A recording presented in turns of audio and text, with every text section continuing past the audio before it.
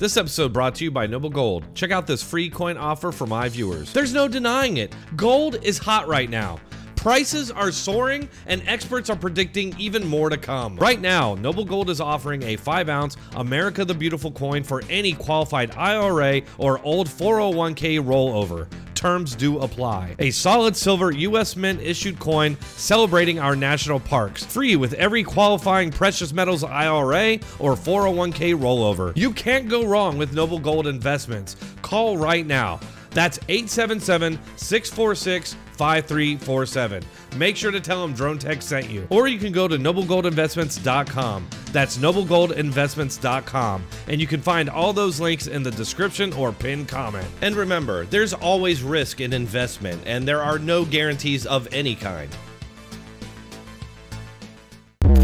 Welcome back, viewer. Dronetek here. In case you missed it, yesterday, Speaker of the House Kevin McCarthy hilariously slayed CNN for their lack of credibility on classified documents and the weaponization of the media by the government after they hired multiple disgraced intelligence directors, Andrew McCabe and James Clapper, then used them to attack Democrats' political opponents. We want to make sure it's equal justice for all, and we want to look at it as weaponization. Now, what you, are you with CNN, right? Yeah. Okay, so let's talk about this even further because when somebody weaponizes government and they actually get removed from government, let's take Andrew McCabe, okay, former d- deputy. But this is no, a no, different well, let me case. no, no, let me answer this the is question. a different set of circumstances, right? Wrong. And today on CNN, Jake Tapper seems to inadvertently prove both those points during an absurd segment where Andrew McCabe, who once again was fired from the FBI for leaking classified information to the media, then lying about it. That same guy is now paid by CNN to defend Hillary Clinton,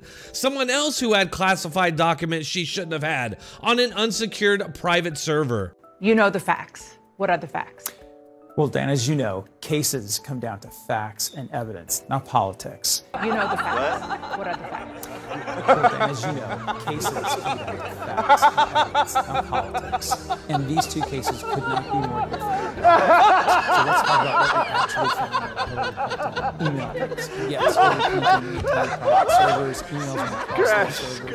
Notice how many times the known lying, corrupt former FBI director says the word facts. He must have gone to the Karen Jean Pierre School of Bullshittery. And they want you to know that it's not about politics. No, no. Even though the guy talking right now got off the hook where any normal person would have been charged and convicted. And these two cases could not be more different on the facts. So let's talk about what we actually found in the Hillary Clinton email case. Yes, Hillary Clinton maintained private servers, emails went across those servers. Ultimately, she returned 30,000 emails to the Department of Defense, work related emails. You sure about that? In reality, Hillary Clinton had around 30,000 of her emails deleted, which were supposedly recovered from the FBI later.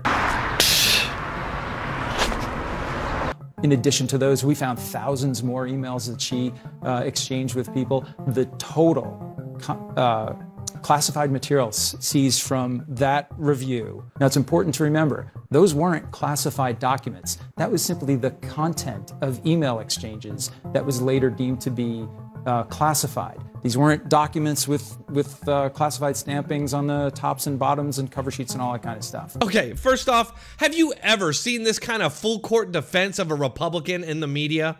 Ever? No, you haven't. It's always done in defense of Democrats or someone connected to whatever they're running cover for.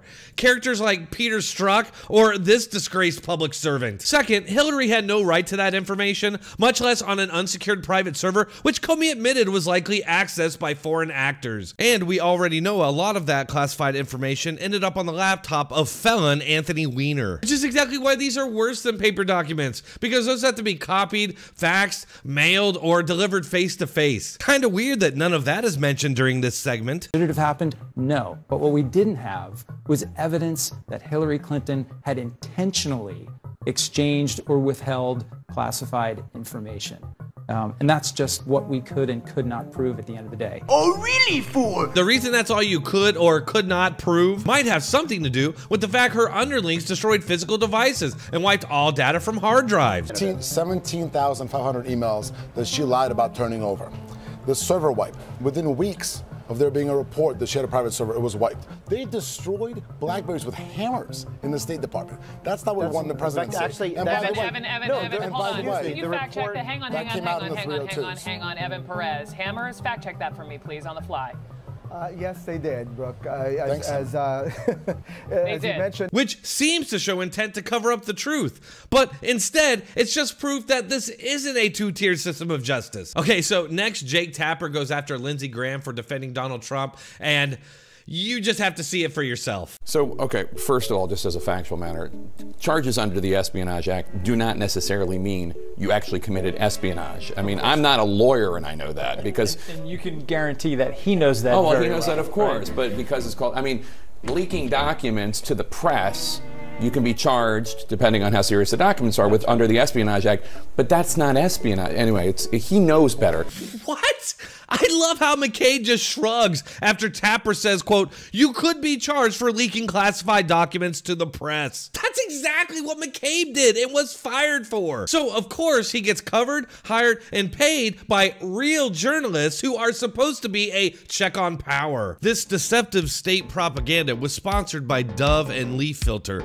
Don't spend your money on people that are destroying this country. All right, folks, that's all I have for that one. Thanks for watching. I'd appreciate it if you hit that like button, share, subscribe, and leave a comment to continue the discussion.